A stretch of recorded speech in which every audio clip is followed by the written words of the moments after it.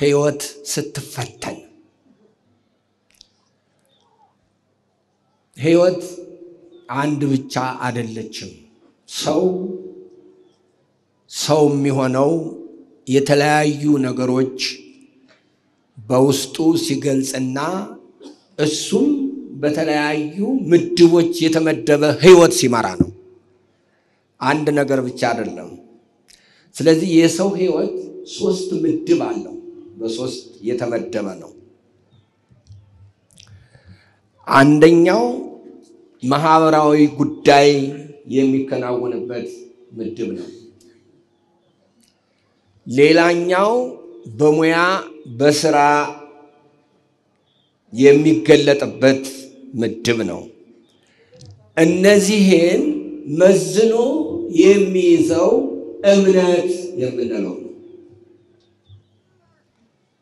እነዚህ ሁለቱ በእምነት ካልተመዘኑ፣ በእምነት ካልተኖሩ ሕይወት ጎደሎ ነው የሚሆነው። የዛሬዎቹን ወጣቶች ታሪክ ይህንን ነው የምናይባቸው። ቅድም አባቶቻችን ሲያስተምሩን እንደነበረ እነዚህ አራት ወጣቶች ዕብራውያን ናቸው፣ እስራኤላውያን ናቸው። ወደ ፋርስ ባቢሎን የሄዱበት ምክንያት በአገራቸው የነበሩ መሪዎች የሃይማኖትም የፖለቲካም ሁሉም አጠቃላይ ህዝቡም ነው የሚለው ህዝቡም በሙሉ አምጾ በእግዚአብሔር እየሰማችሁኝ ነው። አምጾ በቤተ መቅደሱ ተገኝቶ እግዚአብሔር በአካል የተገለጠበት ቤተ መቅደስ ለእያንዳንዷ የቤተ ክርስቲያን ስርዓት ቆጥሮ ሰፍሮ እግዚአብሔር በቃሉ ያጻፈበት። ካህናቱ በየቀኑ ምን ማድረግ እንዳለባቸው ተቆጥሮ ተሰፍሮ የተሰጣቸው። ያንን ያደረጉ እንደሆነ እግዚአብሔር በበረከት ሊያትረፈርፋቸው፣ ያን ያላደረጉ እንደሆን ግን እንደሚቀጣቸው ከግብፅ ከአራት መቶ ሰላሳ ዓመት ባርነት በኋላ ወደ ተስፋው ሀገር ሲያስገባቸው በአንድ ቅድመ ሁኔታ ነበረ። በምን እግዚአብሔርን በፍጹም ልባቸው፣ በፍጹም ነፍሳቸው፣ በፍጹም ሐሳባቸው እንዲያመልኩ እየሰማችሁ ነው። ከዚህ ከወጡ ተመልሰው እንደገና በምርኮ በስደት ወደማይፈልጉት አገር እንደሚሄዱ ቃል ገብተው እሱም ቃል ገብቶላቸው በዚህ ውል መሰረት ነበረ እስራኤላዊ ይኖሩ የነበረው። ግን እነዚህ ሰዎች ለእግዚአብሔር ታማኝ አልሆኑ። በነቢያቱ በየቀኑ እግዚአብሔር መልእክት ቢያስተላልፍ አልሰማ አሉ። በዚህ በዳንኤል ዘጠኝ እንደተነገረው መሪዎቻችን፣ አባቶቻችን፣ ህዝቡም ሁሉ ነው የሚለው የሚገርም ነገር ነው። ህዝቡም ሁሉ በአንተ አምፀን አመፀኞች ስለሆን ይሄ ውርደት ደረሰብን ይላል ዳንኤል። በዚያ ምክንያት ተማርከው የወረዱ ሰዎች ናቸው። እየሰማችሁኝ ነው?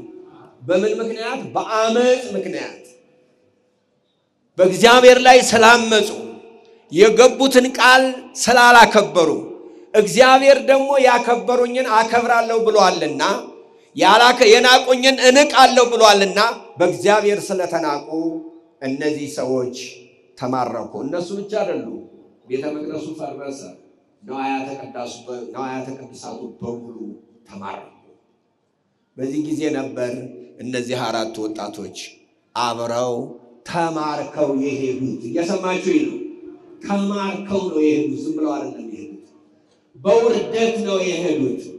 በዚያ ዘመን አንድ ንጉሥ ወይም አንድ መንግስት ሌላውን ሲያሸንፍ አሸነፈ የሚባለው አምላኩን ጭምር ስለሆነ የተሸነፈው የተሸነፈው መንግስት አምላክ እንደ ንጉሱ ተሸናፊ ስለሆነ እግዚአብሔርንም ተሸናፊ አስመስለው አሕዛቦቹ ማረኳቸው። እየሰማችሁ ነው። የእኛ መዝለክለክ፣ የእኛ በእምነት አለመኖር፣ የእኛ ትክክለኛ ቦታ ላይ አለመሆን፣ የእኛ በጽድቅ ስም ኃጢአት መስራት እግዚአብሔርን ጭምር ያሳዝናል ብቻ ሳይሆን ያስደፍራል። ቤተ ክርስቲያንን ጭምር ያስደፍራል። ቤተ መቅደሱን አስደፈሩት እስራኤላውያን በእነሱ አመፅ። ነዋያተ ቅድሳቱ በሙሉ ተማረኩ። አሉ የተባሉ ወጣቶች በሙሉ ተማርከው ወደ ሌላ ሀገር ተወሰዱ። እዚያ ሄደው ከየቦታው ከተማረኩት ወጣቶች እነዚህ አራቱ ውብ ሁነው ተገኙ ነው የሚለው። ብፁዕ አባታችን ቅድም ሲነግሩንም ውስጣዊ ውበት ነበር የነበራቸው። የውስጥ የቅድስና ሕይወት ነበራቸው። ለነ ዳንኤል እግዚአብሔር አይሸነፍም። እነ ዳንኤል በራሳቸው ኃጢአት ተማረኩ እንጂ እግዚአብሔር ሰነፍ ሆኖ አይደለም። እና ተማርከው ሄዱ። ሲሄዱ በማህበራዊ ጉዳይ ፈተና ገጠማቸው። ትምህርት ቤት ነው የገቡት። የገቡበት ትምህርት ቤት የንጉሱን ምግብ እንዲመገቡ ነው።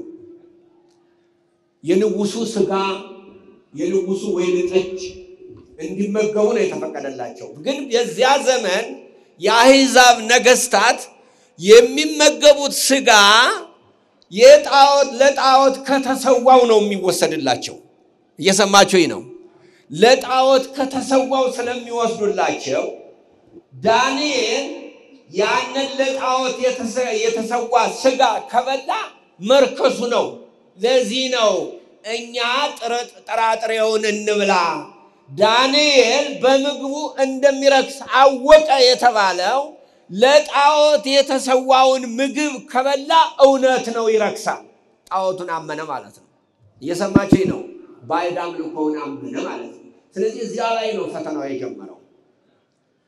ትምህርት ቤት ላይ ነው ፈተናው የጀመረው። ፈተናው የጀመረው ምግብ ላይ ነው። የተመረጠ ምግብ ላይ የተመረጠ ምግብ ላይ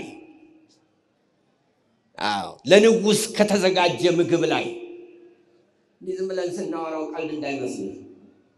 አንተ ወጣት ሆነህ ቤተ መንግስት የተሰራ ምግብ እየተመገብክ ተማር ብትባል ማመንህ ትዝ ይልሃል?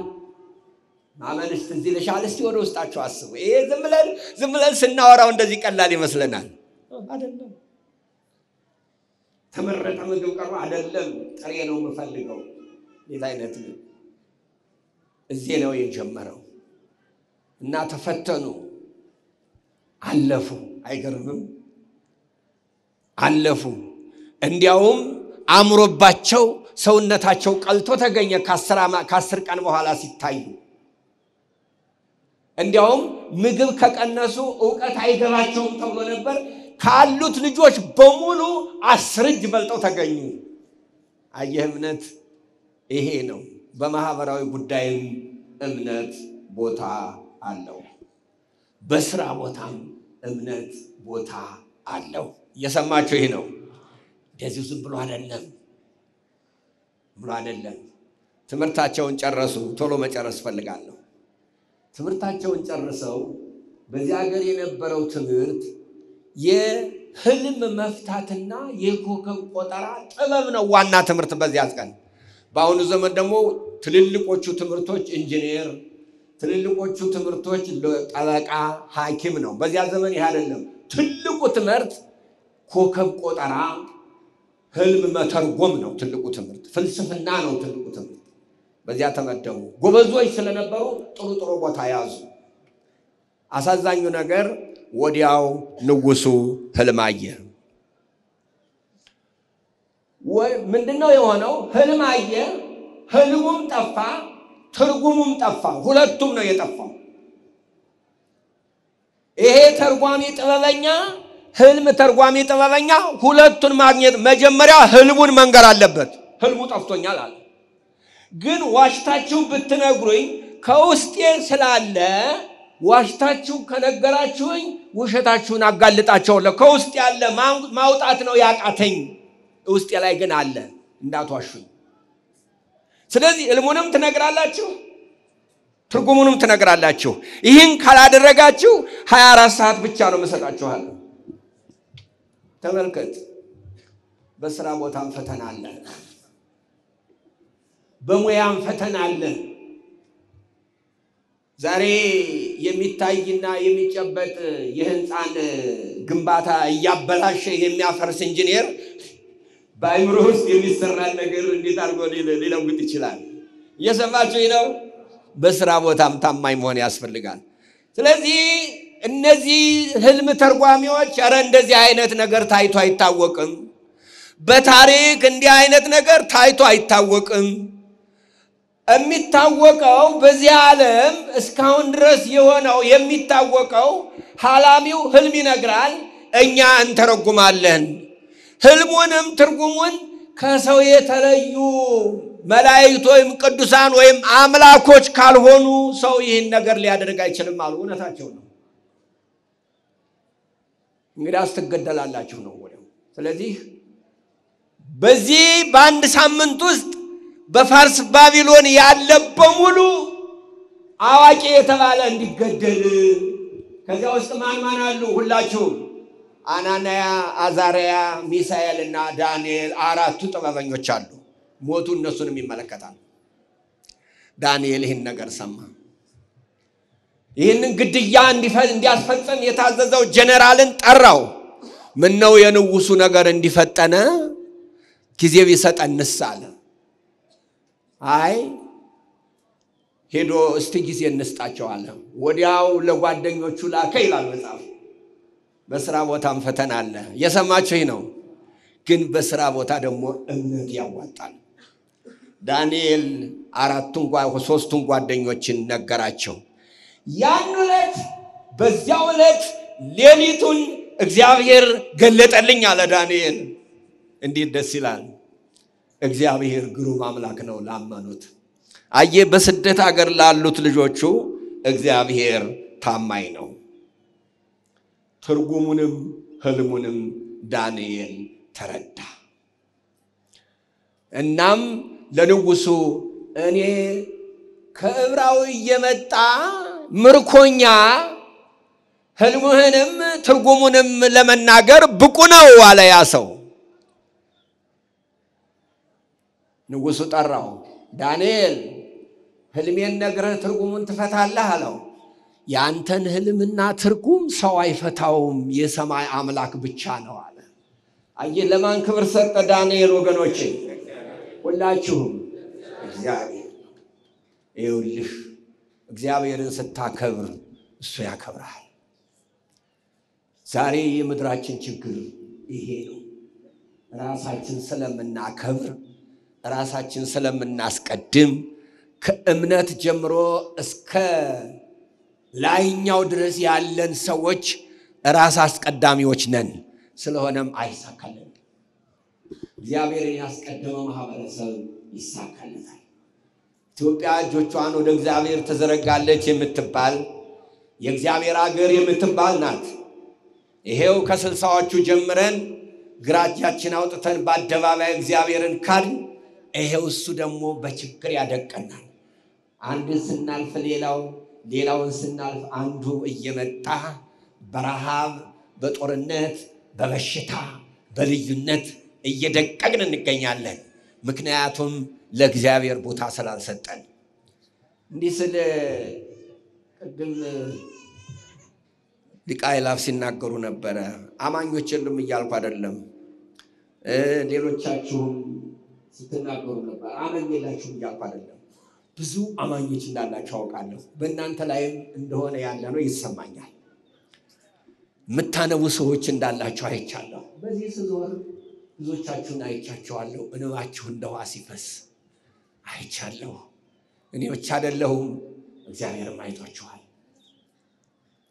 በዚህም ነው እንጂ ያለነው እኮ መኖር የሚገባን ሀገር አይደለንም። እንደ ነገራችንማ ስንታይ እኮ አይደለንም እኮ። ግን ከታላቅ ምሕረቱ የተነሳ የእናንተን የድሆቹን እንባ ተመልክቶ ይኸው እስካሁን ድረስ ይዞናል። አይዟቸው አሁንም ይይዘናል። እግዚአብሔር ዳንኤል እግዚአብሔርን አከበረ፣ እግዚአብሔር ደግሞ አከበረው። ህልሙን ተረጎመ። በስራ ቦታ ያለው ፈተና ታለፈ። ሶስተኛው እና ዋናው ይዞን የሚቆመው እምነት የሚባለው ነው። ሶስተኛው የእምነት ፈተና ነው። የእምነቱ ፈተና የተከናወነው ያ ህልም አይቶ ግራ ገብቶት የነበረ ንጉሥ ያ ህልሜን ካልፈታችሁልኝ ሙቼ እገኛለሁ ይል የነበረ ንጉሥ ያንን ሁሉ ረስቶ እየሰማችሁ ነው። ያንን መከራውን ሁሉ ረስቶ ችግሩን ሁሉ ረስቶ በራሱ መልክ ብርና ወርቅ አሰርቶ አምላክ ነው ይሄ ብሎ የምርቃን ቀን አዘጋጅቶ እኛ ቤተ መቅደስ እንደምንመርቅ ሁሉ የእሱ የጣዖቱ ቀን ተከብሮ እንዲውል በእሱ አገዛዝ ያለ በሙሉ ባለስልጣን ተሰበሰበ። ከባለስልጣኖቹ ውስጥ ሶስቱ ወጣቶች ነበሩ። ምክንያቱም በዳንኤል ምክንያት ትልቅ ቦታ ተሰጥቷቸው ነበረ። እንዲያውም ማለደላቸው ይላል። ለአናንያ ለአዛርያና ለሚሳኤል ትልቅ ቦታ እንዲሰጣቸው ጠየቀ። ንጉሱም የዳንኤል ወንድሞች ስለሆኑ ትልልቅ ቦታ የአውራጃ ገዥ አድርጎ ነው የሰጣቸው። ዳንኤል ግን ከሶስቱ ዳኞች አንዱ ነበር። እየሰማችሁኝ ነው? በዚህ ቦታ ላይ ነው ያሉት እነዚህ ሰዎች። ከነዚህ ውስጥ አብረው መጠራት ነበረባቸው። ትልልቅ ሰዎች ስለሆኑ የተጠሩት በሙሉ ትልልቅ ሰዎች ናቸው። ምን ሊያረጉ? ጣዖት ሊመርቁ። ምን ሊያረጉ? አምላክ ያልሆነ ድንጋይ አምላክ ነው ብለው ያንን ሊያመልኩ። የእምቢልታና የመሰንቆ የዘፈንና የእልልታ ድምፅ በሰማችሁ ጊዜ ናቡከደነጾር ላቆመው ለራሱ ምስል ተንበርክካችሁ እንድትሰግዱ ታውጇል ተባሉ። ሚኒስትሮች፣ ጀነራሎች፣ የቢዝነስ ሰዎች፣ የወራጅ ገዦች፣ ጠቅላይ ገዦች ሁሉ ተሰብስቧል። የክብር ልብስ ለብሰው ነው የመጡት። ክብረ በዓል ስለሆነ ትልልቅ ልብስ ለብሰዋል። እነዚህ ሰዎችም ከትልልቁ ሰዎች ጋር ነው የቆሙት። አየህ፣ እዚያ ትልቅ ተብለህ ከትልልቅ ሰው መካከል ወጥተህ ወደ እሳት ስትጣል ሌላ መንገድ የለም። ሁለት ብቻ ነው። ወይ ለጣዖት ሰግዶ መካድ፣ ወይ እሳት ውስጥ መግባት። ሌላ ሶስተኛ መንገድ የለም። ይሄ መካከለኛ የሚባል በክርስትና ያለ ወይ ታምነዋለህ፣ ወይ ትኖረዋለህ፣ ወይ አትኖረውም። አለቀ። እስከ ጊዜው ድረስ የሚባል እምነት የለም ወገኔ። እንደዚያ የሚባል እምነት የለም። የመዳን ቀን መቼ ነው? አይደለም፣ አሁን ነው። አሁን ነው። ካመንክም አሁን ትኖራለህ፣ ካላመንክም አትኖረውም። አለቀ። እዚህ ስለቆምክ ብቻ ማይ ልትሆን አትችልም። በተግባር መግለጥ አለብህ። ስለዚህ እዚያው ላይ ፍርድ መሰጠት ነበረበት። ሁሉም ተንበረከከ። ሶስቱ ብቻ የክብር ልብሳቸውን እንደለበሱ ቁመው ተገኙ። ሄዱ ነገረ ሰሪዎች፣ ያን ጊዜው ጆሮ ጠብ ያለ ማለት ነው። ሄዱ ሩጠው፣ አንተ ያከበርካቸው ከፍ ከፍ ያደረግካቸው ከእስራኤል የመጡት እነዚያ ሶስት እኮ እምነት አምላክህን አያመልኩም፣ ላቆምከው ስዕልም አይሰግዱም፣ ላቆምከው ምስልም አይሰግዱም ለጣዖቷ። ጠራቸው። ልጆቼ፣ ወዳጆቼ፣ ያመንኳችሁ ያከበርኳችሁ አናንያ፣ አዛርያ፣ ሚሳኤል ሆይ እውነት ነው አምላኬን አለማምላካችሁ ለጣዖቴ አለመስገዳችሁ እውነት ነው አሉት። ንጉሥ ሆይ አዎ እውነት ነው፣ አዎ እውነት ነው። በዚህ ነገር አንመስልህም፣ እንወድሃለን፣ እናከብርሃለን። እየሰማችሁኝ ነው? ተሳስቷል እኮ ንጉሡ።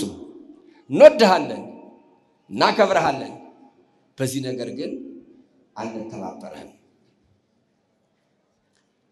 የአምላክህን አናመልክም፣ ደግሞም ላቆምከው ምስል አንሰግድም።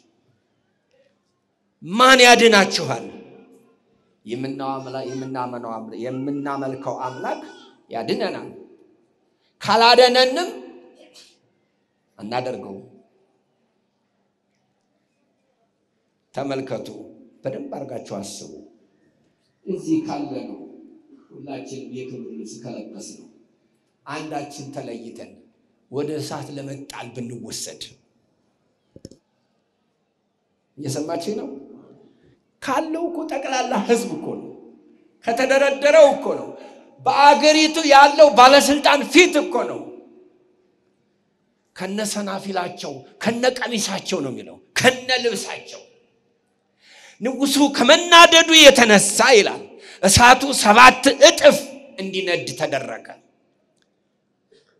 ከመናደዱ የተነሳ ሰባት እጥፍ እንዲነድ። እና ትልልቅ ወታደሮች ጡንቻ ያላቸው ተፈለጉ።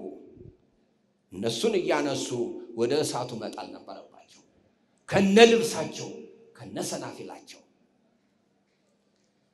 እስቲ አንተ እዚያ ሆነህ ራስህን እይ። እዚያ ሆነሽ ራስሽን እይ። እምነት የሚባለው ይሄ ነው። ዓይንህ እያየ እሳት ውስጥ መግባት የተንቀለቀለሃለው እሳት ውስጥ መግባት። አየህ እምነት የሚባለው? ለአስራት የማይታመኝ ትውልድ። የተናገርከውን ለማትናገር ለእኔና ለእናንተ ይሄ። እንደ ቀላል ታሪኩን ስናጠነው እንደ ቀላል ይመስለናል። እና ወስደው ጣለ። በሚገርም ሁኔታ ሰባት እጥፍ ተንቀልቅሎ ስለነበር ቸኩሎ ስለነበር ይላል። የንጉሱ ታዝ ቸኩሎ ስለነበር ወዲያውኑ ሲለቋቸው እነዚያ ሰዎቹን የጨመሩትን ጉልበተኞች እሳቱ እዚያው ላይ ኩምትር ኩምትር ኩምትር አደረጋቸው፣ ተቃጠሉ። እሳቱ እኮ አሁንም ይነዳል። ሰዎቹ ውስጥ ገቡ። ቀሚሳቸውም እንደተለበሰ ነው፣ ሰናፊላቸውም እንዳለ ነው፣ የክብር ልብሳቸው እንዳለ ነው። ሌላ አራተኛ ሰው ነበር። እነሱ መዝሙራቸውን ቀጠሉ። እሳቱ እኮ ይነዳል። እሳቱ እኮ አለ፣ ጠፍቷል፣ አልጠፋም። ኃይሉ ነው የጠፋው። በእነሱ ላይ ኃይል አልነበረውም። አየህ እምነት የሚባለው ይሄ ነው። እንግዲህ ወገኖች ዛሬ እኔና እናንተ በሕይወታችን ጣዖት ሆኖብን ምድራችን እየለበለበ ያለ ብዙ የተለያየ ነገር አለ። አልተርክላችሁም። ረሃቡን፣ ጦርነቱን፣ ልዩነቱን፣ ስራ አጥነቱን፣ ኑሮ ውድነቱን አልተነትነውም። አንተ ራስህ እየኖርከው ስለሆነ ለምን እተነትነዋለሁ? ለምንድን ነው እኔ ስለ ሰላም ይሁን ብዬ የምተነትነው? እየሰማኸው ለምንድን ነው የምተነትንልህ? እልቅስ ወደ ውስጥህ ንስሐ ገብተህ ጸልይ። እየሰማኸኝ ነው? ለምን ተነትንልሃለሁ? ለምን እዚህ ለፖለቲከኞች ራት እሆናለሁ? እያወቅኸው እያወቅኸው እያነበብክ እየሰማህ ስለዚህ ከሰውነት ተራ ወጥተናል። አይደለም አማኝ ሰው የመሆን እንኳን ችግር አለብን ዛሬ እንዲህ አይነት ታሪክ ቁመን የመስማት እኮ በእውነት ሞራሉም የለንም። እንዲህ አይነት የአማኞችን ጀግንነት የመስማት እኮ ዓለም ሞራል የለንም እኮ እኛ በሌብነት የምንታማ፣ በውሸት የምንታማ፣ በአርለኝነት የምንታማ፣ እርስ በርሳችን የማንከባበር የምንዋሽ ውሸታሞች፣ አታላዮች ነን። እነዚያ ሰዎች እንደዚያ አይደሉም። ለእነዚያ ነው እግዚአብሔር ታማኝ። ሰይጣን እዚህ 24 ሰዓት መቆም ግድ የለውም ላንተ። እውነተኛ ክርስቲያን ከሆንክ ብቻ ነው ላንተን የሚፈታተንህ። ስለዚህ የዛሬው ቀን ሶስተኛው ሰው እሱ የእግዚአብሔርን ልጅ ይመስላል አለ። እዚያ ወዲያው አየ የእነሱን የተቃጠሉ ሰዎች ሽታ ለማየት የጎመጀው ናቡከደነጾር የሚዘምሩ ሰዎች አየ። ባርኮ ለእግዚአብሔር ስቡሃ ዘተሰብሃ ፍጹም ምስግን የሆነውን አምላኬን አመሰግነዋለሁ፣ የአባቶቻችን አምላክ እናመሰግነዋለን እያሉ ይዘምሩ ነበር እዚያ እሳት ጉድጓድ ውስጥ። እነሱ ወዲያ ወዲህ ይሉ ነበረ። አሁን ከምዘምረው ከምንናገረው በላይ ነበር እነሱ የሚዘምሩት። ከቃል ያለፈ ነበር የእነሱ መዝሙር። የእነሱ መዝሙር ከልብ ነበር። አከበሩት አምላካቸውን።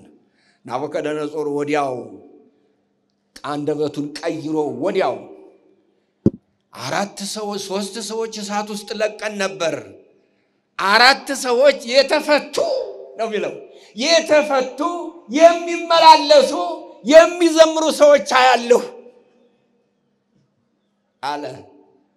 ኑ ውጡ አላቸው። እነሱም መጡ። በጨርቃቸው ላይ የእሳት ትርኳሽ እንኳን አልነበረም። እሳት እኮ እየነደደ ነበር። ስለዚህ እንዲህ አለ ንጉሡ፣ እነዚህን ቆይ ቆይ ገና ነው ስሙ ነው ያልኩት። አሁን ወደ ውስጣችሁ ስሙ ነው ያልኩት። ወደ ውስጣችሁ ስሙ ነው ያልኩት። ይዛችሁ እንድትሄዱ ነው የምፈልግ። እልል ብላችሁ እንድትቀመ እንድታጠፉት አይደለም፣ ወደ ውስጣችሁ። ስለዚህ ምን አለ? የንጉሡን ትእዛዝ የተላለፉትን ተላልፈው ያመኑት አምላካቸው መልአኩን ሰዶ አዳናቸው። የአናንያ የአዛርያ የሚሳኤል አምላክ የተባረከ ይሁን አለ። አየህ፣ እማያምነውን አሳመነ እምነት። ጠላትህን ያንተ ምስክር አድርጎ ያቀርባል እምነት። እውነተኛ ከሆንክ ብቻ ነው ይሄ ደግሞ የሚሆነው። የላይ ለላይ ነገር አይደለም ይሄ ይህ ዝም ብለህ ላይ ለላይ ደግስ አይደለም። ወደ ውስጥ ስታስብ